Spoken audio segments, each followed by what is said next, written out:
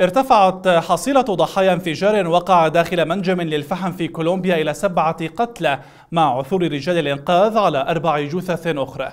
ووقع الانفجار ليلة الأربعاء الخميس في بلدية كوكونوبا التي تبعد 90 كيلومترا شمالي العاصمة بوغوتا حيث أشارت السلطات إلى أنها تشتبه بأن السبب يعود إلى غاز متراكم ومحصور داخل المنجم.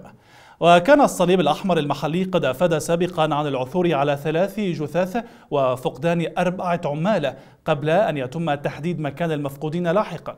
وأظهرت تسجيلات فيديو نشرت على شبكات التواصل الاجتماعي عمودا من الدخان يتصاعد ليلا من حفرة وأشخاصا باللباس المدني يحملون مشاعل ويقتربون منها.